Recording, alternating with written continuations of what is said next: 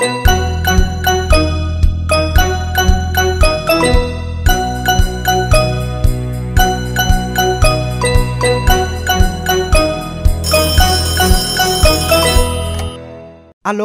trường đại học Văn Lang xin chào.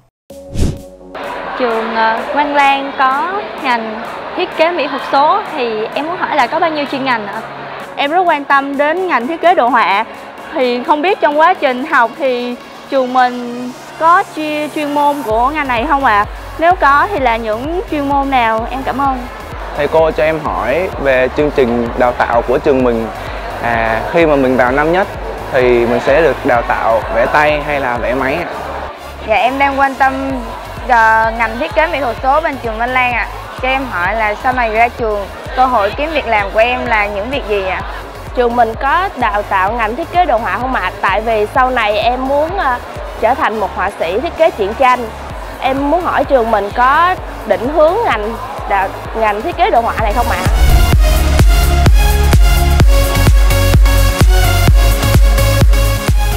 Alo Văn Lan xin chào. Chào mừng tất cả các bạn đã đến với talk show tư vấn hướng nghiệp Alo Văn Lan. Series chương trình được phát sóng định kỳ vào thứ bảy và chủ nhật hàng tuần trên fanpage của Văn Lan University và fanpage tuyển sinh trường Đại học Văn Lan. Alo Văn Lan được lên sóng với mong muốn lắng nghe những câu hỏi từ các bạn học sinh trên khắp các tỉnh thành về từng ngành học cụ thể để có thể tư vấn đúng với những gì các bạn cần. Các bạn học sinh thân mến, mỗi năm trường Đại học Văn Lang lại mang đến một format chương trình mới để tư vấn hướng nghiệp và trong chuỗi series tư vấn hướng nghiệp năm 2022 mang tên Let's Talk. Số tư vấn về ngành thiết kế đồ họa được xem là số vui nhộn nhất với sự có mặt của thạc sĩ Chiêu Anh Long, thạc sĩ Nguyễn Quốc Đạt và hot tiktoker thầy Đồng Thanh Lộc là những giảng viên vui tính của khoa mỹ thuật và thiết kế. À, các bạn có thể thấy cái đường cong mềm mại ở cái phần lưng này là cột sống của nhân viên các bạn. à, đối với những người làm thiết kế đồ họa thì có một điều đặc biệt là bàn tay phải của bạn có thể thoải mái nhưng bàn tay trái của bạn nhớ rằng là mình luôn luôn phải để trên bàn phím và nhớ Ctrl S bất cứ mọi à, lúc. Các bạn nhớ Ctrl S khi mà các bạn làm đồ án nha các bạn. Thầy có năm hoa tay. Năm hoa tay. Ừ. thầy long à? à mình nhiều hơn thầy à, một hoa tay. Mình có sáu hoa tay. Sáu hoa tay. Hay lộc à mình nhiều nhất á. Dạ, tám tám hoa tay. Thì thầy có nghĩ rằng cái ý kiến cho rằng là người có nhiều hoa tay thì mình vẽ đẹp hơn mình khéo tay hơn mình hợp với ngành thiết kế đồ họa hơn không? Ừ, mình không nghĩ là vậy đâu uh, may mắn là mình có nhiều hoa tai thôi chứ mình nghĩ là vẻ đẹp là do mình có năng khiếu bẩm sinh đó Số talk show năm ngoái mang tên Học thiết kế đồ họa cần mấy hoa tay giúp các bạn học sinh giải đáp những tiêu chí cần thiết để trở thành sinh viên ngành thiết kế đồ họa. Các bạn có thể xem lại talk show dễ thương này trên kênh youtube chính thức của Văn Lang University nhé. Và ngày hôm nay chúng ta sẽ cùng quay lại với ngành học nổi bật của trường Đại học Văn Lang, thiết kế đồ họa. Chúng ta sẽ cùng khai thác sâu hơn về chương trình đào tạo cũng như là cơ hội nghề nghiệp khi các bạn tốt nghiệp ngành thiết kế đồ họa và ngành thiết kế mỹ thuật số. Hello Văn Lang rất vinh hạnh vì ngày hôm nay được đón tiếp hai vị khách mời sẽ trở thành ban tư vấn cho các bạn học sinh trong ngày hôm nay. Em xin được trân trọng giới thiệu thạc sĩ Nguyễn Quốc Thanh là trưởng ngành thiết kế đồ họa khoa mỹ thuật và thiết kế. Chào Ngọc Anh và chào các bạn đang xem chương trình Talk Show Alo Văn Lan. À, hôm nay mình rất vui là được uh, ở đây để đồng hành chia sẻ các bạn các cái thông tin hy vọng là nó sẽ hữu ích cho các bạn có một cái định hướng về nghề nghiệp cũng như là chọn lựa về cái ngành mà mình sắp theo học. Em xin cảm ơn thầy và Ngọc Anh cũng xin trân trọng giới thiệu thạc sĩ Lê Trường Bảo là trưởng ngành thiết kế mỹ thuật số, khoa mỹ thuật và thiết kế. Xin chào quý phụ huynh cùng các bạn à, đang xem chương trình Alo Văn Lan kỳ này. Em xin cảm ơn hai thầy vì đã dành thời gian ờ, đến đây tư vấn cũng như là giải đáp các câu hỏi cho các bạn học sinh của chúng ta. Và Ngọc Anh cũng xin bật mí một chút cho các bạn là vì ngành học thiết kế đồ họa và ngành học thiết kế mỹ thuật số được ví như là anh em với nhau, bởi vì ngành thiết kế mỹ thuật số từng là một chuyên ngành của ngành thiết kế đồ họa và cho đến năm 2021 thì với sự phát triển của khoa cũng như là nhu cầu của các bạn sinh viên thì ngành thiết kế mỹ thuật số đã tách ra là một chuyên ngành độc lập. Và ngày hôm nay thì em hy vọng với sự tư vấn của hai thầy thì các bạn sẽ có cái nhìn rõ và cụ thể hơn về ngành học mà mình sắp lựa chọn ạ. À.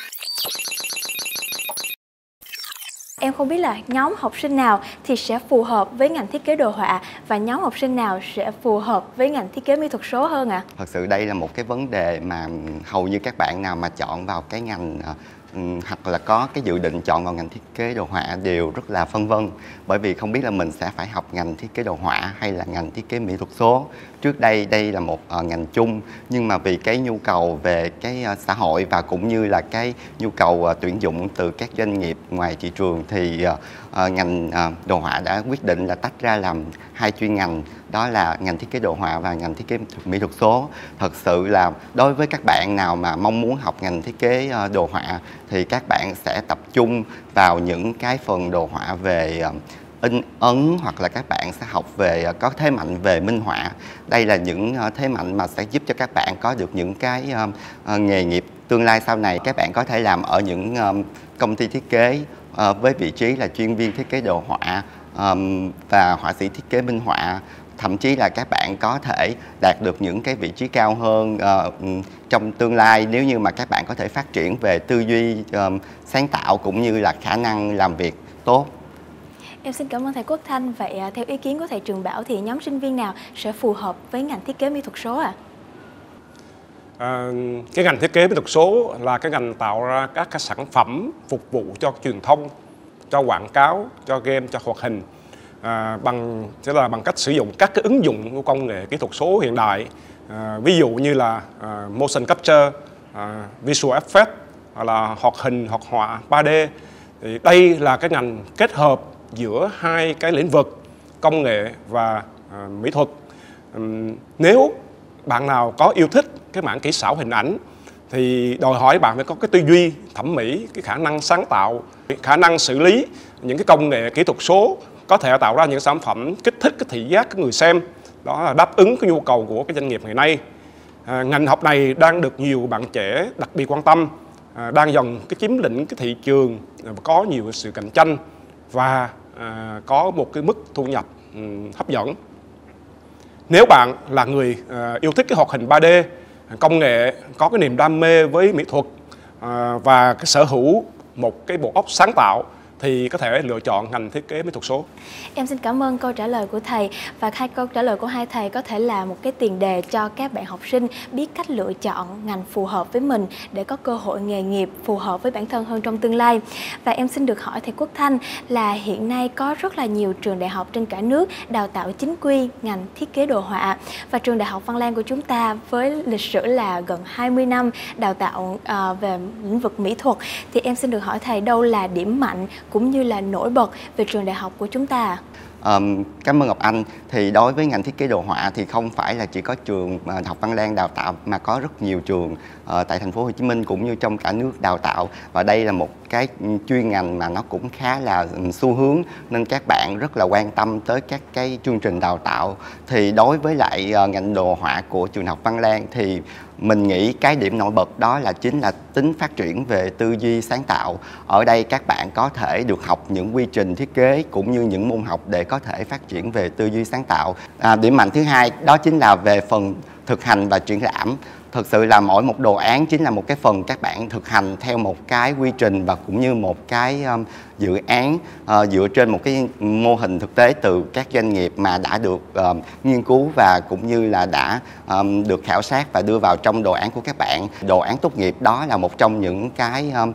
uh, điểm nổi bật của ngành thiết kế đồ họa. Thì um, mỗi cái kỳ tốt nghiệp thì các bạn đều có được những cái triển lãm và những cái triển lãm này thì nó có sự kết hợp um, mời các cái doanh nghiệp lại đánh cùng tham gia vào để mà có thể um, đánh giá được xem được năng lực. Thì um, ngành thiết kế đồ họa qua bao nhiêu năm nay thì đã có một sự kết nối rất tốt giữa các cái đồ án sinh viên cùng với doanh nghiệp thì mình nghĩ đó là cái điểm mạnh thứ hai. Còn cái điểm mạnh thứ ba thì mình nghĩ đây là trong ngành đồ họa có những cái môn được đào tạo về um, rất là chuyên sâu. Ví dụ như là những cái môn về in khắc gỗ rồi những cái môn về vốn cổ rồi những cái môn về in lụa hoặc là um, in kỹ thuật số vân vân. Thì đó là những cái bổ trợ mà sẽ giúp cho các bạn uh, rất nhiều trong cái phần mà phát triển những cái kỹ năng cũng như là có thể mà phát triển về chuyên môn tốt uh, có thể hợp lý về um, ứng dụng vào những cái nhu cầu của xã hội trong tương lai mà sau khi các bạn ra trường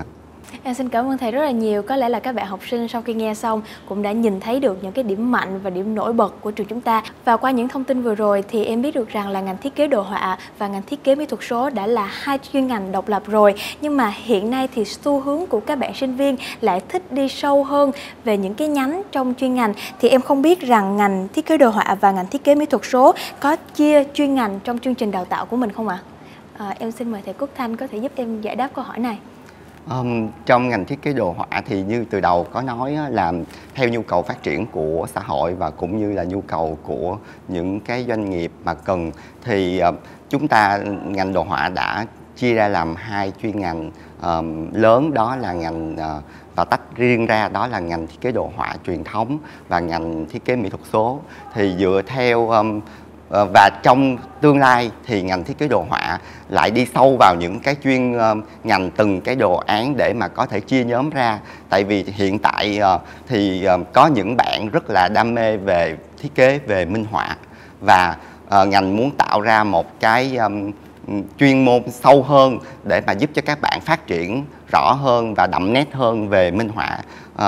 cũng như bên cạnh đó thì có một cái ngành uh, mà theo nhu cầu của thị trường uh, của xã hội đó là ngành thiết kế tương tác. Uh, và ngành thiết kế tương tác là một ngành dựa theo xu hướng của xã hội và nó sẽ uh, trong tương lai nó sẽ rất là um, phát triển. Đối với ngành thiết kế minh họa thì các bạn sẽ được học về kỹ năng là vẽ về những cái minh họa và những cái minh họa đó nó sẽ được ứng dụng vào trong uh, những cái layout về sách tạp chí hoặc là thậm chí là các bạn có thể vẽ được những nhân vật cho uh, truyện tranh hoặc là cho phim hoạt hình vân vân. Thì um, đối với những bạn nào học minh họa thì các bạn phải nghĩ rằng là các bạn có cái năng khiếu nhiều hơn về cái mặt và hình họa cũng như là tạo hình à, và cái định hướng là thường các bạn rất yêu thích về các chuyện là vẽ cho những chuyện tranh hay là tạo hình những cái nhân vật hoặc là thậm chí là các bạn có thể vẽ những cái character um, um, bối cảnh cho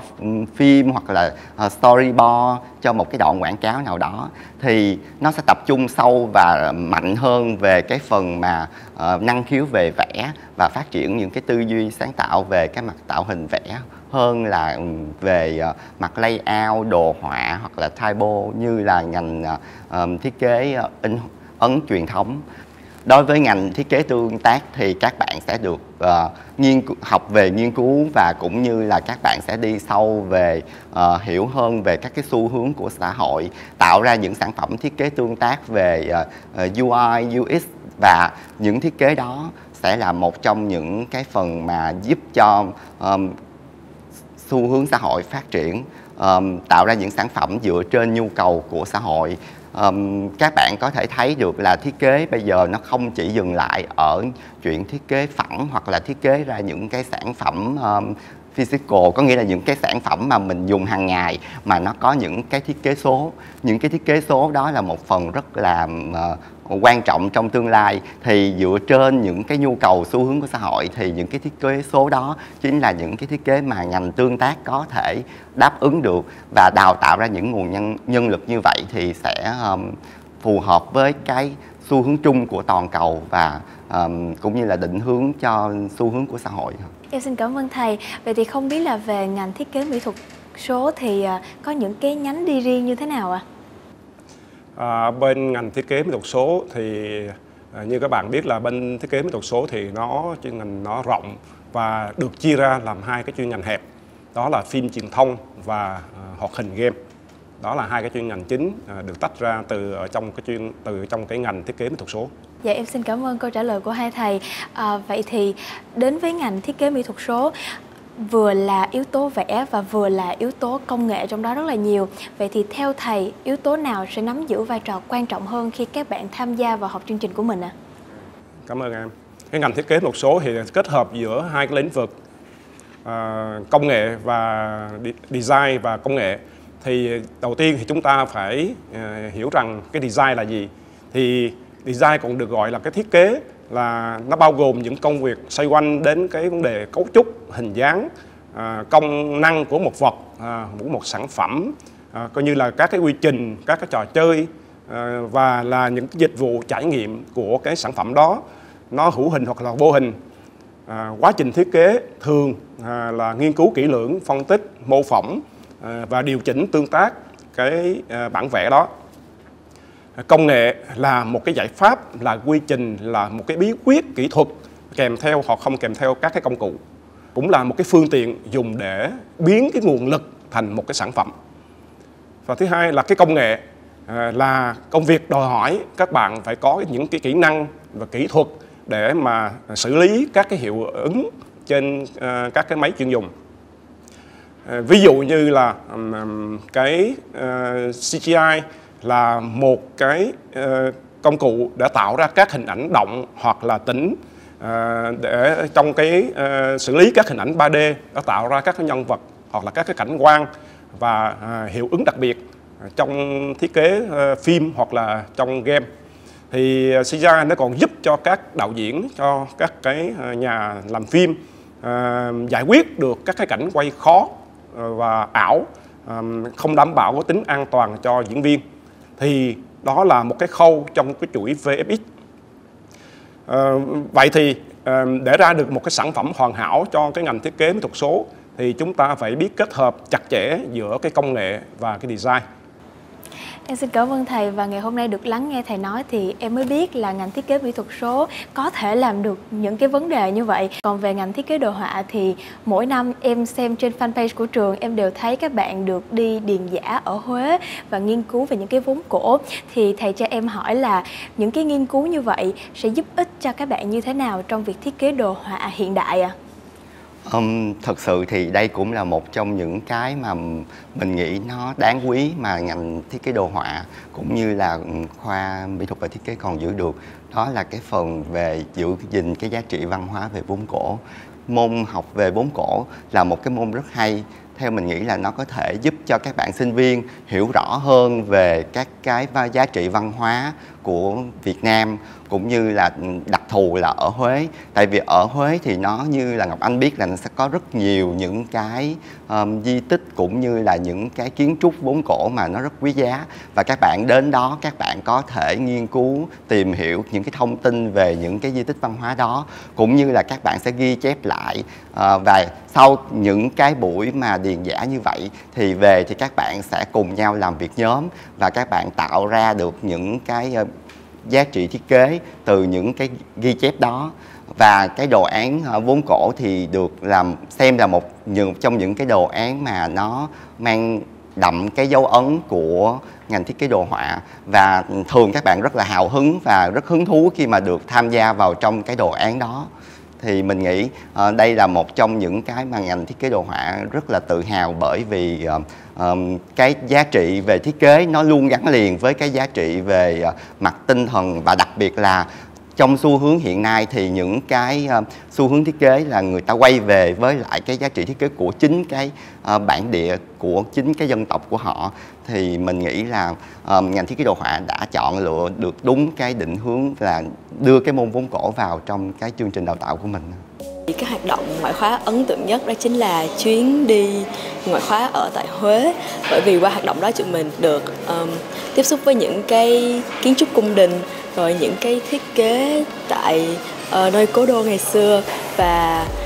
điều đó rất là giúp ích cho tụi mình trong việc bồi dưỡng lại thêm thẩm mỹ uh, cũng như là cố gắng để có thể lưu truyền những cái nét đẹp văn hóa của Việt Nam và đưa vào trong những cái tác phẩm thiết kế của mình sau này.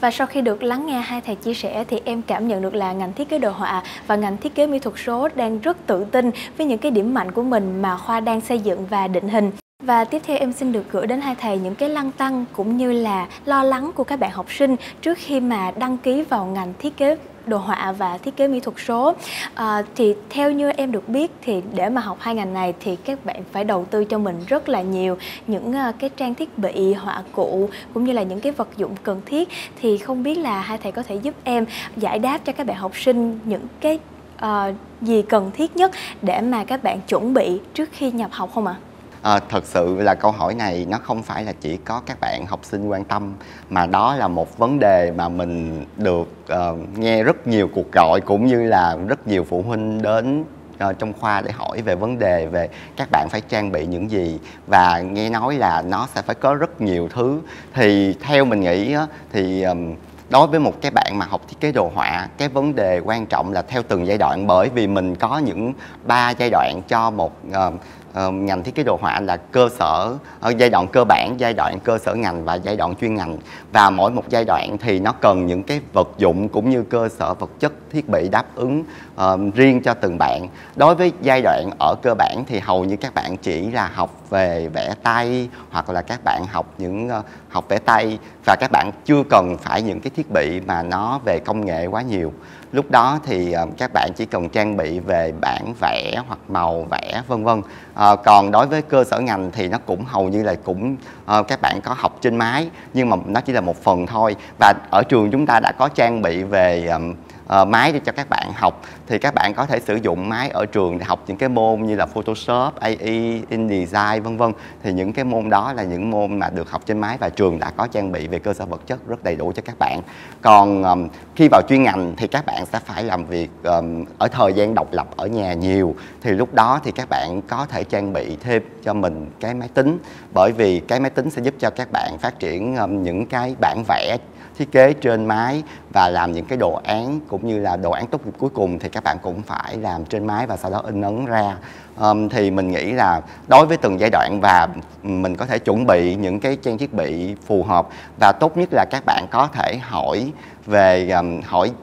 giảng viên của mình à, hoặc là dạng hỏi giảng viên mà tư vấn cho mình những cái thiết bị nào những cái uh, dụng cụ nào để phù hợp với từng môn học tránh là mình sẽ mua uh,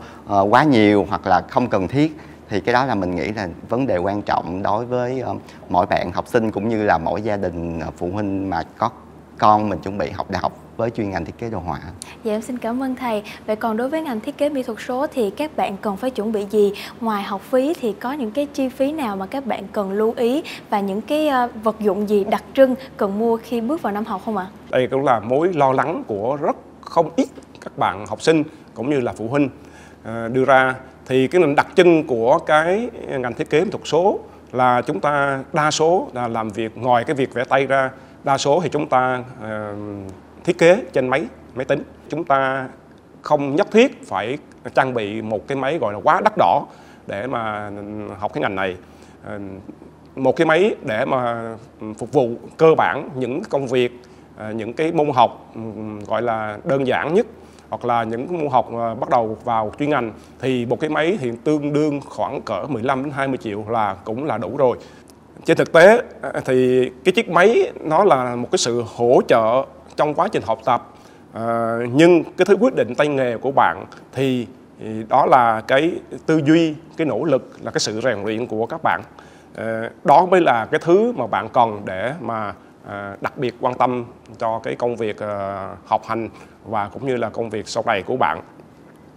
Ở trường Đại học Văn Lang thì riêng học ngành này thì trường đã trang bị cho chúng ta rất là nhiều cái phòng máy chuyên ngành để đáp ứng đầy đủ đáp ứng đủ có cấu hình mạnh để mà làm phim, làm hoạt hình. À, ngoài ra trường cũng trang bị cho sinh viên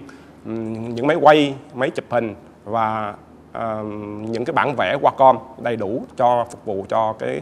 Ờ, các cái môn học của các bạn. Dạ em xin cảm ơn câu trả lời của hai thầy rất nhiều và nhắc đến mỹ thuật này nhắc tới thiết kế thì chúng ta sẽ nghĩ ngay đến đồ án và các bạn sinh viên mà tham gia học ngành thiết kế uh, đồ họa hay là thiết kế mỹ thuật số thì các bạn phải làm đồ án liên tục gần như là xong đồ án này là qua đồ án khác ngay lập tức thì không biết là hai thầy có thể highlight những đồ án nổi bật quan trọng mà các bạn học sinh sẽ phải thực hiện khi mà tham gia học chuyên ngành của mình trong 4 năm không ạ? À? Um, thật sự thì cái cụm từ mà deadline đồ án là một trong những cái mà các bạn sinh viên uh, cứ trêu nhau ở trên các cái trang mạng à, và cũng như nói chuyện với nhau thì à, các bạn thường hay nói đến cái từ về đồ án. Thật sự là đồ án trong ngành thiết kế đồ họa thì à, nó có những cái đồ án từ cơ sở ngành cho tới chuyên ngành. Nhưng mà những cái đồ án chuyên ngành mà nổi bật của ngành thiết kế đồ họa đó chính là um, đồ án về bìa sách nè rồi đồ án về uh, bao bì cũng như là đồ án thiết kế layout. Và đặc biệt một điều là đối với một cái bạn mà học thiết kế đồ họa thì các bạn phải học về um, đồ án nhận diện thương hiệu. Đó là trong một trong những đồ án mà giúp cho các bạn hiểu về cái quy trình uh, từ nghiên cứu ra một cái uh, nhãn hiệu một cái thương hiệu để mà phát triển nó uh, về tư duy thiết kế cũng như là hiểu được một cái quy trình. Đối với những cái đồ án bên ngành thiết kế đồ họa thì nó đã được um, chắc lọc cũng như mình dùng từ chắc lọc bởi vì nó đã được nghiên cứu từ các doanh nghiệp ứng dụng từ những cái nhu cầu thực tế các doanh nghiệp vào và um, để mà đưa ra một cái quy trình. Mà cái quy trình thiết kế đó trong mỗi đồ án mà khi các bạn sau này đi làm có thể uh, ứng dụng được vào trong một cái môi trường làm việc chuyên nghiệp ờ, thậm chí là có thể làm việc với các bạn ờ, nước ngoài. Và một trong những cái đồ án mà mình nghĩ là nó là cái kết quả mà sau 4 năm của các bạn học, đó chính là đồ án tốt nghiệp. Đồ án tốt nghiệp là cái quá trình mà các bạn sẽ làm việc cùng với giảng viên hướng dẫn. Và ờ, đồ án tốt nghiệp là một cái đồ án cuối cùng ờ, để cho các bạn có thể vận dụng hết những cái phần về tư duy, kỹ năng cũng như là cái khả năng mà ờ, quy trình học tập của các bạn như thế nào sẽ được thể hiện trong đó. Thường thì cái đồ án tốt nghiệp các bạn sẽ rất là bỏ nhiều công sức vào trong đó. Và nó giống như là một cái portfolio, một cái profile để mà các bạn có thể mà trưng bày và các bạn đưa ra khi mà các bạn sau này tốt nghiệp. Thì với cái tốt nghiệp là một trong những cái điểm thú vị ờ, của ngành thiết kế đồ họa bởi vì um, thường những cái đồ án tốt nghiệp các bạn sẽ được triển lãm và các cái doanh nghiệp sẽ đến tham quan cũng như là có thể đánh giá được năng lực. Um, niềm tự hào của ngành thiết kế đồ họa là rất nhiều doanh nghiệp đã đưa ra những cái lời đánh giá là uh, hầu như những đồ án tốt nghiệp các bạn đều đáp ứng được đúng xu hướng và cũng như là nhu cầu của thị trường thậm chí có những đồ án nó rất nổi bật và nó là uh, khi mà tham gia vào các cuộc thi từ trong nước cho tới quốc tế thì đã đạt được những thành tích rất là đáng uh, kể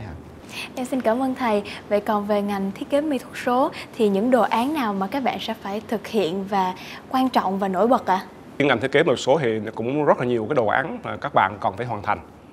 À, ví dụ như một số cái đồ án về đồ họa thị giác, đồ án đồ họa chuyển động, đồ án game, đồ án hoạt hình, ngoài ra còn một số đồ án khác tuy nhiên như các bạn cũng đã biết rằng là ở ngành thiết kế một số nó chia làm hai cái chuyên ngành hẹp. Thứ nhất là ngành phim truyền thông thứ hai là ngành hoạt hình game. Ở cái ngành phim truyền thông thì chúng ta nên chú ý đến hai cái đồ án là đồ án TVC và đồ án viral còn ở ngành hoạt hình game thì chúng ta nên quan tâm và hoàn thành hai cái đồ án là đồ, đồ án hoạt hình và đồ án game. Và ngoài ra thì cuối cùng thì các bạn cũng phải làm một cái đồ án cuối cùng là đồ án tốt nghiệp. Đồ án tốt nghiệp thì cho phép các bạn được làm nhóm và thời gian làm một đồ án tốt nghiệp đó thì nó có khoảng 16 tuần, tức là 4 tháng. Đó là những cái đồ án mà à, ở ngành thiết kế tục số quan tâm nhiều nhất và các bạn nên chú ý nó. Dạ em xin cảm ơn thầy. Và em có trò chuyện với các bạn sinh viên của ờ, khoa thiết kế mỹ thuật thì mỗi lần mà đồ án đến là các bạn thức mấy đêm liền. Nhưng mà đồ án thì vô cùng là đẹp và các bạn rất tự hào về những cái đồ án mà mình đã thiết kế ra. Thì có thể nói như thầy Quốc Thanh đã chia sẻ thì đồ án của các bạn sinh viên trường đại học Văn Lang luôn gây ấn tượng với các doanh nghiệp cũng như là các bạn sinh viên ở các trường đại học khác. Vì vậy nên là sinh viên trường đại học chúng ta thường đạt được rất là nhiều những cái thành tích không những trong nước mà mà còn trên đấu trường quốc tế. Điển hình như là sinh viên Văn Lan của chúng ta đã 3 năm liên tiếp được quán quân của cuộc thi vô địch thiết kế đồ họa thế giới. Không biết là thầy có thể chia sẻ về niềm tự hào đối với sinh viên ngành mình được không ạ? Những giải thưởng đó chứng minh được cái năng lực và cũng như cái sự cố gắng của các bạn sinh viên cùng với những cái giảng viên hướng dẫn cho các bạn uh, tham gia cuộc thi. Thì um, thành tích đó đã chứng minh được một điều là các định hướng đào tạo của ngành thiết kế đồ họa phù hợp với lại xu hướng và có thể đạt được những cái um, uh, giá trị mang lại cho ngành cũng như là cho trường. Thì um, mình uh, cảm thấy uh, trong tương lai uh, thì hy vọng là ngành sẽ có được những bạn sinh viên ưu tú và đạt được những giá trị cao hơn nữa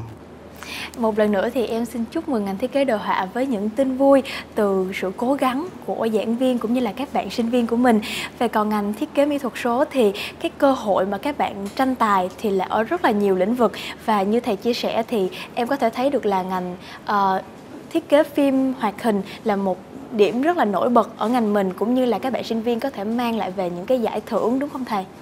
Đối với ngành thiết kế mỹ thuật số thì là một ngành ra đời muộn à, sau những ngành khác. Thì uh, tuy nhiên thì uh, sinh viên ngành thiết kế mỹ thuật số uh, cũng đạt được rất là nhiều cái giải thưởng và uh, thành công trong các cái cuộc thi đơn cử như là liên hoan phim Văn Lang uh, được một giải nhất, một giải nhì, một giải ba và uh, cuộc thi cánh diều vàng 2019 thì được cái bằng khen à, về phim ngắn và cuộc thi uh, kịch bản phim ngắn về môi trường về màn ảnh xanh thì cũng được cái giải triển vọng. Uh, cái phim demo uh, thế giới rác thải được cái bằng danh dự của cái, cái liên hoan phim uh, màn ảnh xanh uh, Việt Nam. Và ngoài ra ở cuộc thi uh, mỹ thuật uh, ứng dụng toàn quốc lần thứ tư thì ngành thiết kế mỹ thuật số đạt được cái giải uh, khuyến khích. Đó là cái bộ phim sắc thêm đó là một số cái giải mà à, sinh viên của ngành thiết kế mỹ thuật số đã đạt được.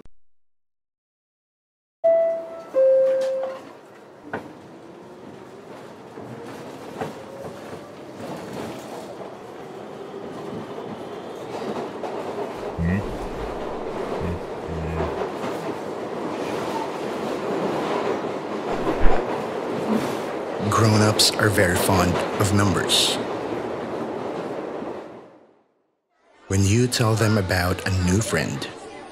they never ask you the kind of question that should be asked. Such as, what kind of voice does he have?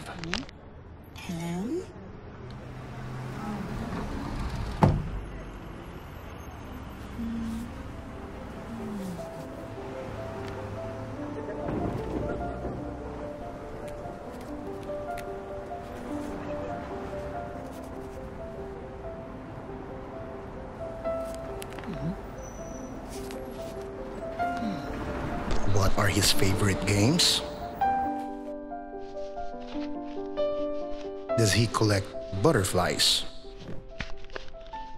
Instead, they ask, How old is he? How many brothers has he got?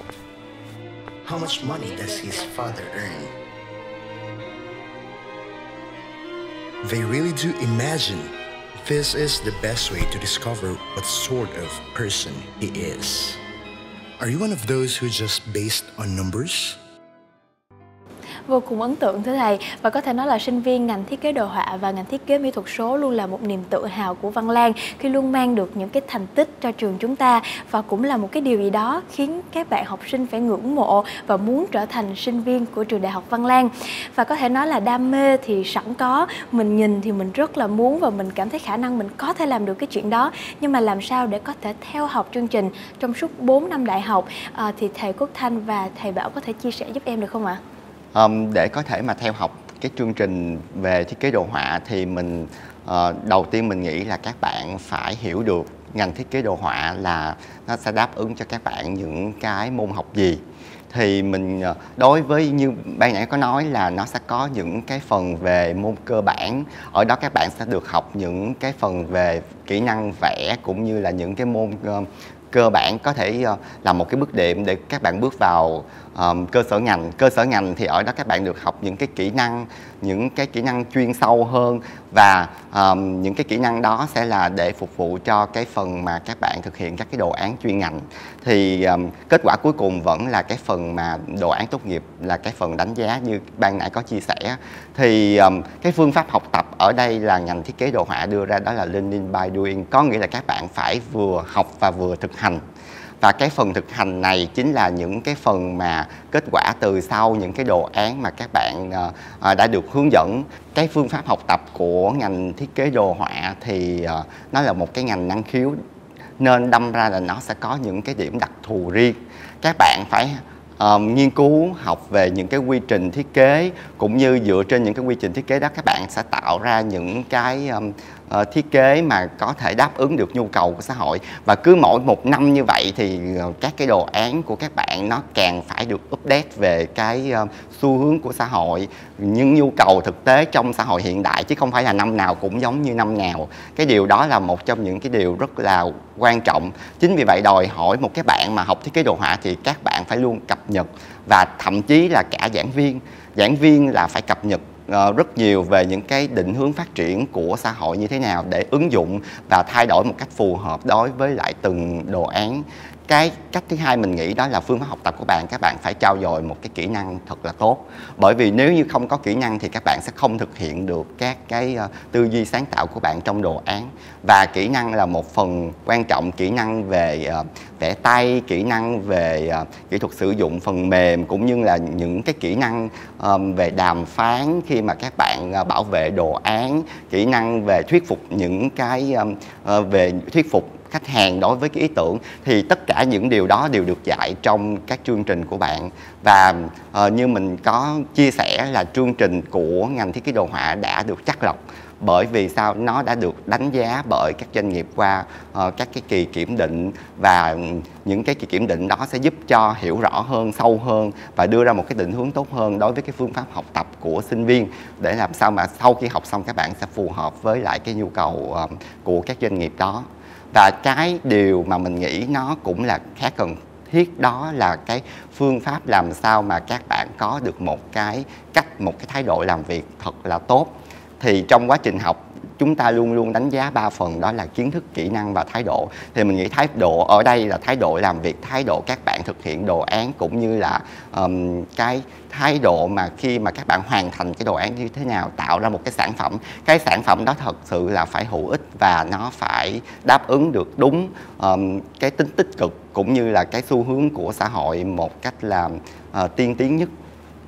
Em xin cảm ơn thầy. Vậy thì không biết với kinh nghiệm giảng dạy của thầy Bảo thì à, các bạn cần phải chuẩn bị cho mình như thế nào? Thầy có lời khuyên nào để chia sẻ cho các bạn học sinh trước khi các bạn chọn ngành học của mình trong 4 năm đại học không ạ? Học ngành nào cũng vậy. Thì cái yếu tố đầu tiên là yếu tố đam mê.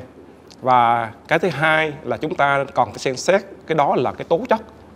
Cái tố chất của một cái con người như thế nào để vào vô được cái ngành của mình yêu thích để xem được mình có phù hợp với một cái ngành nghề nào đó không thì trước tiên chúng ta xét về tố chất. Đơn giản, cái tố chất là gì? Đơn giản, đó là những cái thói quen hàng ngày, những cái sở thích à, những cái khả năng nổi bật của bạn. À, để biết rõ bạn cái phù hợp với cái ngành thiết kế mỹ thuật số này hay không, thì à, chúng ta phải liệt kê ra một số cái yếu tố sau đây để xem có phù hợp hay không. Thứ nhất là bạn phải có cái sự nhạy cảm với cái đẹp được mọi người nhận xét là à, có cái gu thẩm mỹ cao à, hoặc là thích sáng tạo à, thay đổi tìm tòi cái mới. À, và bạn cũng là người à, thích mỹ thuật là thích vẽ à, vẽ những cái điều mà xung quanh mình à, thường xuyên. Hoặc là cái một cũng là có một yếu tố nữa là à, một con người có tâm hồn bay bổng à, luôn luôn có cái cảm xúc sáng tác với bất kỳ thời gian nào. Và điều quan trọng nữa là đó là có cái tính cầu toàn thì đòi hỏi cái sự hoàn hảo trong từng chi tiết. Vì như các bạn biết rằng là cái ngành thiết kế một số là ngành tạo ra những cái sản phẩm về truyền thông về uh, hoạt hình và game. Thì chúng ta còn cái cái sự hoàn hảo đó. Thì đó là một cái yếu tố mà một cái tố chất mà cần cho các bạn. Và ngoài ra thì cũng có uh, những cái bạn mà muốn học vào ngành thiết kế mỹ thuật số thì cũng phải có cái nhạy bén về cái màu sắc. Thì uh, Ờ, và cái điều quan trọng nhất là đó là cái điều đam mê và tìm hiểu về công nghệ. Nếu bạn có hầu hết các yếu tố trên thì hãy vui mừng rằng à, bạn đã đi khá đúng cái con đường của mình và chúc mừng bạn đã có những cái định hướng à, đầu tiên và để nó hỗ trợ cho với cái bản thân của mình và hỗ trợ cho công việc học của mình sau này. Và một thống kê thú vị của Hiệp hội Quảng cáo Việt Nam VAA thì hiện tại trong nước ta có hơn 50 công ty quảng cáo nước ngoài và khoảng 3.000 công ty quảng cáo trong nước. Cũng như là những cái đơn vị mà về truyền thông, về báo chí thì họ luôn cần tuyển một cái người thiết kế. Thì có thể nói là ngành thiết kế đang rất là khác nhân lực. Thì không biết là đâu là cái định hướng rõ ràng cho các bạn sau khi tốt nghiệp ngành thiết kế đồ họa và ngành thiết kế mỹ thuật số à? À, các bạn ra trường thì thật sự là cái số lượng cũng rất là đông. Hầu như là không phải chỉ có trường chúng ta đào tạo về ngành thiết kế đồ họa mà hầu như tất cả các trường đại học đều à, bắt đầu à, đã có và đang sắp mở những cái chuyên ngành thiết kế đồ họa. Nhưng cái câu hỏi đặt ra là um, rất nhiều. Thì như vậy thì nó có đáp ứng um, dư so với lại cái số lượng cần hay không? Thì mình cũng xin nhấn mạnh rằng là thật sự là nó được đào tạo bởi vì nhu cầu xã hội cần. Chính vì vậy các bạn ờ, đăng ký tham gia vào học thì các bạn cũng hãy an tâm rằng là đối với lại cái ngành thiết kế đồ họa là một cái ngành xu hướng nhu cầu càng phát triển của xã hội càng cao thì cái chuyện mà các uh, những cái mà uh, designer nó càng lại phải cần. Tại vì cái nhu cầu về cái đẹp nhu cầu về một cái sản phẩm đẹp và có tính công năng thì đó là những cái mà ừ, ngành thiết kế đồ họa có thể cung cấp được cho xã hội. Và các bạn học thiết kế đồ họa ở trường học Văn Lang thì các bạn được đào tạo như mình nói là từ tư duy sáng tạo cho đến cái quy trình sáng tạo cũng như là quy trình thiết kế làm sao mà các bạn có thể đáp ứng được vào trong những cái môi trường làm việc uh, chuyên nghiệp. Các bạn và nếu như các bạn mà trao dồi được những cái khả năng làm việc uh, độc lập cũng như là phát triển ờ, về tư duy tốt hơn thì các bạn có thể đạt được những vị trí cao hơn như là um, art director hoặc là thậm chí các bạn có thể lên vị trí cao nhất trong ngành thiết kế đó là CD thì có nhiều bạn cũng muốn làm freelancer. Um, những bạn làm freelancer thì các bạn muốn làm việc một cách độc lập hơn à, thì à, đối với lại chuyên ngành đồ họa thì nó thường là các bạn sẽ được ứng tuyển vào các cái công ty như là công ty thiết kế quảng cáo in ấn hoặc là những công ty làm về à, à, minh họa uh, layout vân vân. Thì hiện tại nó có rất nhiều cái hướng đi cho các bạn lựa chọn. Và mình tin rằng là uh, nếu như các bạn có một cái phương pháp học tập tốt một cái quy trình học tập tốt thì các bạn có thể đáp ứng được tất cả những cái nhu cầu cũng như là những cái nguyện vọng của công ty thì đối với ngành thiết kế đồ họa là một ngành xu hướng thì nó sẽ không phải là một cái nơi mà um, không có đất cho các bạn có thể mà ứng tuyển được Em xin cảm ơn thầy. Vậy thì không biết về ngành thiết kế mỹ thuật số thì các bạn sinh viên có thể làm được rất là nhiều những cái à, dự án không chỉ là về thiết kế mà còn về phim ảnh quay dựng thì à, không biết là thầy Bảo định hướng như thế nào cho các bạn sinh viên mà tốt nghiệp chuyên ngành của mình ạ? À? Ừ, cảm ơn Ngọc Anh. Ở ờ, cái ngành à, thiết kế mỹ thuật số này thì đây cũng là một cái ngành mới của xã hội. Ờ, thì cái nhu cầu của uh, xã hội đang là rất là còn đang là khác cái nhân lực thì như các bạn thấy là hiện tại bây giờ các đài truyền hình rất là nhiều nhiều đài truyền hình ờ, được mở ra à, nhiều công ty hầu như đa số công ty nào cũng còn cái nhân lực là thiết kế thì ờ, sau khi mà học xong cái ngành thiết kế mỹ thuật số này thì người học có thể làm việc tại ở một số cái công ty quảng cáo truyền thông công ty thiết kế công ty tổ chức sự kiện à, công ty thiết kế phần mềm, công ty trò chơi điện tử, à, công ty thương mại, ở, ví dụ như ở các đài truyền hình nữa này rồi công ty thực hiện và sản xuất phim truyền hình, rồi ở các công ty sản xuất hoạt hình và ờ, tổ chức sản xuất phim. Ở ngoài ra thì các bạn cũng có thể làm ở các cái tòa soạn báo hay là tạp chí, công ty phát hành sách hoặc là xuất bản ấn phẩm truyền thông. Cũng có thể làm được freelancer thiết kế website logo nhận diện thương hiệu vân vân. Đó là cái uh, những cái ngành nghề mà uh, các bạn học thiết kế mỹ thuật số ra thì có thể apply vào rất là nhiều cái ngành nghề khác nhau. Em xin cảm ơn chia sẻ của thầy và lúc nãy Ngọc Anh có lắng nghe thầy Quốc Thanh chia sẻ thì với cái đầu ra tốt nghiệp là số lượng sinh viên của trường chúng ta, không chỉ vậy còn là sinh viên của các trường khác, thì yếu tố nào là quyết định cho các bạn sinh viên tốt nghiệp ra có sức cạnh tranh tốt trong lĩnh vực ạ? À? Um, thì mình nghĩ cái yếu tố mà quyết định là cái yếu tố về cái phần mà quy trình học của các bạn cũng như là cái phần mà tư duy sáng tạo của các bạn như thế nào thì đó là cái yếu tố cạnh tranh. Bởi vì trường ngành luôn luôn hướng các bạn đến khả năng các bạn có thể làm việc một cách chuyên nghiệp và độc lập thì đó là một trong những cái yếu tố mà giúp cho các bạn có một cái uh, vị thế tốt để mà cạnh tranh với các cái đối thủ mà sau này cùng lứa các bạn hoặc là những um, trong môi trường mà thị trường nói chung hiện nay um, bởi vì mình nghĩ là um, làm designer làm thiết kế đồ họa thì không chỉ là các bạn uh, học về những yếu tố vẽ uh, những cái yếu tố mà để tạo ra một cái sản phẩm không mà các bạn phải học một cái quy trình làm việc chuyên nghiệp thì uh, ngành đã và đang thực hiện trên cái định hướng giống như vậy. Uh, chính vì vậy mà mình nghĩ là các bạn sinh viên thiết kế đồ họa của ngành thiết kế um, trường Văn Lang có thể tự tin bởi vì mình đang trong một cái môi trường học um, với một cái quy trình là dựa trên một cái quy trình chuyên nghiệp Em đã nhìn thấy một cái bức tranh ở trên Facebook và nó rất là đẹp và ai cũng khen cái người họa sĩ nhưng mà thật ra bức tranh đó là do AI thực hiện. Vậy thì không biết hai thầy nghĩ như thế nào về việc AI có thể thay thế designer trong tương lai ạ? À? Như chúng ta cũng biết rằng là AI là một cái thành tựu đáng kinh ngạc à, của công nghệ. Tuy nhiên AI nó có thể vẽ ra theo cái lệnh của con người, nhưng nó chỉ là mang một cái tính chất giải trí thôi. Mặc dù ờ, về ứng dụng khả năng của AI thì rất là lớn, nó có thể trợ giúp cho cái người thiết kế sáng tạo nè, gợi mở những cái tiềm năng mới nè, rồi được phát khám phá và rất có thể nó thay đổi cái phần nào cái sự hoạt động sáng tạo nghệ thuật. Thì có lẽ trí tuệ nhân tạo nó được tạo ra để giúp cho cái một cái thế giới này nó tốt đẹp hơn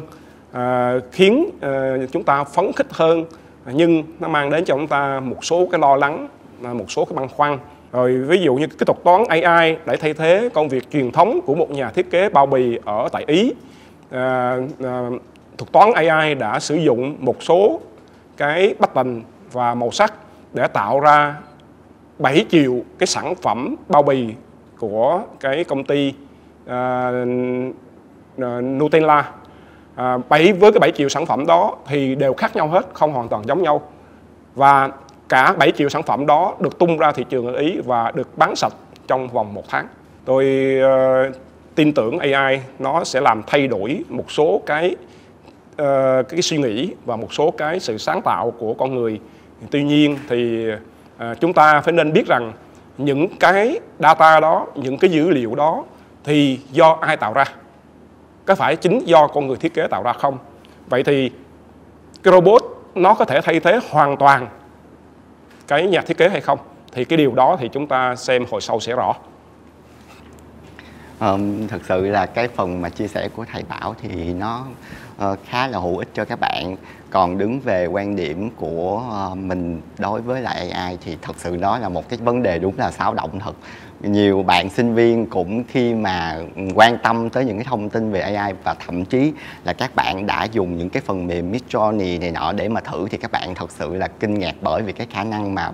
uh, tạo ra những cái sản phẩm mà hình ảnh như vậy nhưng mà thật sự một điều là chúng ta ngồi bàn lại cái câu chuyện về AI chúng ta sẽ thấy được một điều là tất cả như thầy Bảo nói, nó đều dùng một cái lệnh. Và cái lệnh đó các bạn phải biết được cái lệnh đó thì các bạn mới dùng được. Thì vẫn là mấu chốt là các bạn phải có tư duy về cái phần thiết kế các bạn phải hiểu được cái quy trình như thế nào và các bạn phải nắm được uh, cốt lõi là cái kết quả. Tại vì AI là cái để tạo ra kết quả chứ không phải là cái để tạo ra quy trình. Cũng như là cái để tạo ra cái sản phẩm đó thì bạn phải hiểu nó phải đưa những cái keyword và đánh nó vào trong cái phần mà phần mềm đó thì nó mới tạo ra được cái phần hình ảnh đó. Thì mình cũng có chia sẻ là uh, thật sự nếu như có AI thì nó có ảnh hưởng làm cho các bạn designer bị thất nghiệp hay không? Thì um, cái câu hỏi đó mình cũng chưa chắc chắn để mà có thể trả lời bởi vì thật sự nó cũng là câu hỏi cho toàn thế giới trong tương lai. Nhưng mà theo mình nghĩ là yếu tố con người vẫn là yếu tố có thể quyết định trong đó. Bởi vì sao? Ờ, uh, AI vẫn dựa trên những cái dữ liệu có sẵn và con người chính là người tạo ra những cái dữ liệu đó. Thì chúng ta có thể sử dụng AI như một công cụ để có thể hỗ trợ cho các bạn thiết kế. Đặc biệt là ví dụ như thay vì các bạn phải mua những cái móc cúp hình hoặc là các bạn um, phải rất mất rất nhiều về chi phí hoặc là đầu tư để mà có thể tạo ra một cái phần um, để mà có thể có được một cái phần hình ảnh cho cái việc thiết kế thì các bạn có thể dùng AI để mà các bạn tạo ra thì nó sẽ tiện dụng rất nhiều cho các bạn. Thì mình hy vọng là trong thời đại công nghệ số hiện nay AI trong tương lai nó không phải là thay thế con người mà nó sẽ trở thành một công cụ có thể mà phục vụ đắc lực cho con người. Em xin cảm ơn chia sẻ của hai thầy về một cái chủ đề đang rất là nóng ở gần đây và với những chia sẻ vừa rồi thì em có thể thấy là uh, các bạn sinh viên không chỉ học tập ở trường mà còn phải bắt kịp xu hướng những cái xu hướng mới nhất để thực hành vào trong quá trình học tập của mình để đạt hiệu quả cao nhất thì hai thầy có thể chia sẻ uh, kinh nghiệm cũng như là lời khuyên dành cho các bạn làm sao để có thể bắt kịp xu hướng cũng như là giữ cái lửa đam mê của mình trong 4 năm đại học không ạ? Ở thời buổi mà các ngành thương mại điện tử đang phát triển như cái hiện nay á thì ngành thiết kế một số cũng trong ờ, tương lai nó sẽ như thế nào? Về cái thiết kế thực số nó là sẽ là một ngành xu hướng hay không? Thì công nghệ AI nó đang dần thay đổi cái sức lao động của con người và cũng thay đổi sức lao động của nhà thiết kế. Và mong rằng thì con người sẽ tận dụng được những cái sức mạnh của AI, những cái tức sáng tạo của AI để hỗ trợ cho cái việc mà à, sáng tác của việc mà thiết kế của mình. Để hòa nhập được với cái những cái công nghệ mới của xã hội thì các bạn học ngành thiết kế thuật số cũng như là học thiết kế đồ họa thì cũng cần thứ nhất là đam mê và sáng tạo thứ hai là yêu thích và cái đẹp thứ ba là kiên trì và tỉ mỉ và cái cuối cùng là cũng như là cái quan trọng nhất của cho học sinh và cũng như là gian cho giảng viên thì là chịu khó update các cái xu hướng mới nhất là các cái công nghệ mới trong tương lai thì chắc chắn những điều đó sẽ xảy ra. Đối với cái chuyện mà xu hướng đó là một cái vấn đề mà luôn luôn được nhắc đến và luôn luôn đặt lên vấn đề một trong những vấn đề hàng đầu đối với ngành thiết kế đồ họa. Bởi vì các bạn đang tạo ra một cái sản phẩm một cái sản phẩm thiết kế đồ họa đó nó phải phục vụ cho cái nhu cầu và xu hướng của xã hội. Um, theo mình nghĩ thì uh, cái chuyện mà một bạn thiết kế uh, đồ họa phải luôn luôn làm sao mà biết được ngoài thị trường nó đang có những cái xu hướng gì cũng giống như là thầy bảo chia sẻ về công nghệ có thể là trong tương lai nó không phải là chỉ dừng lại ở AI mà biết đâu nó còn có những phần mềm những cái uh, sự thông minh nào đó khác được tạo ra. Thì lúc đó mình phải ở một cái tâm thế như thế nào? Chẳng lẽ mình chấp nhận bị đào thải ra bị uh, mất việc hay là bị không tiếp tục với cái ngành đó? Không chúng ta phải làm sao mà cập nhật cái xu hướng đó. Thì đối với mình công nghệ nó giống như một cái lửa và mình dùng lửa đó để mình đốt cái gì thì do chính bản thân mình. Cái cách mình sử dụng nó như thế nào? Nếu như mình biết dùng một cách đúng cách và mình tự update mình lên để mà có thể sử dụng được cái lửa đó hữu hiệu thì mình vẫn có thể trở thành một designer mà ứng dụng AI, ứng dụng công nghệ tốt nhất cho công việc của mình và mình sẽ có một cái bản lĩnh, một cái vị trí nhất định trong xã hội. Theo mình nghĩ thì cái phần đó là quan trọng đối với một designer. Và một lần nữa, Ngọc Anh xin cảm ơn hai thầy đã dành thời gian đến đây tư vấn cho các bạn học sinh chúng ta có cái nhìn rõ hơn về ngành thiết kế đồ họa và ngành thiết kế mỹ thuật số là hai ngành rất nổi bật trong trường Đại học Văn Lang. Và trước khi khép lại chương trình thì em có thể xin mời hai thầy gửi đến lời động viên tới các bạn 2K5 nói riêng và các bạn sắp thi năng khiếu vào trường Đại học Văn Lang nói chung một lời động viên cho mùa thi năm 2023 được không ạ? Trước tiên là các bạn hãy làm sao mà thể hiện tốt nhất cái phần thi ờ, vào vòng ứng tuyển năng khiếu của mình để mà có thể mà vào cùng nhau, gặp nhau trong cái môi trường văn lang và cùng nhau có thể mà học tập, trao dồi. Thì hy vọng rằng ờ, là các bạn sẽ có được một cái bản lĩnh tự tin. Trước tiên là tự tin và sau đó là các bạn sẽ cảm thấy là mình có sự cân nhắc lựa chọn đúng cái ngành nghề của mình. Và đặc biệt là khi các bạn vào đồ họa thì mình tin chắc rằng các bạn sẽ được học những cái điều thú vị và có thể mà um, phát triển được đúng cái chuyên môn của mình. Và muốn được như vậy thì các bạn hãy xem lại là mình đã có đủ đam mê có đủ um, uh, lửa để mà chọn đúng ngành hay chưa? Thì uh, một lời chúc dành cho các bạn là chúc các bạn sẽ uh, đạt được những cái thành tích tốt và sẽ cùng nhau gặp lại trong uh, môi trường văn lang với ngành thiết kế đồ họa. Cánh cửa đại học đang chào đón các bạn. À, thầy thì rất hy vọng à, các bạn sẽ thành công, các bạn sẽ đạt được những cái ước mơ của mình. À, hãy cố gắng lên các bạn. À, với những gì mà Đại học Văn Lang có và à, đã thành công trong công cuộc đào tạo với cái phương châm học thông qua trải nghiệm thì Đại học Văn Lang luôn luôn luôn chào đón các bạn. Em xin thay mặt các bạn học sinh đang xem chương trình của chúng ta à, kính chúc hai thầy thật nhiều sức khỏe để luôn truyền được cái ngọn lửa nghề của mình đến các bạn sinh viên. Hy vọng talk show ngày hôm nay đã truyền được ngọn lửa nghề đến với các bạn quan tâm ngành thiết kế đồ họa và ngành thiết kế mỹ thuật số. Đừng quên, Alo Văn Lang sẽ trở lại với khung giờ quen thuộc 19 giờ thứ bảy và chủ nhật hàng tuần trên fanpage Văn Lang University và fanpage tuyển sinh trường Đại học Văn Lang. Cần trường tư vấn, alo Văn Lang nha. Còn bây giờ xin chào và hẹn gặp lại.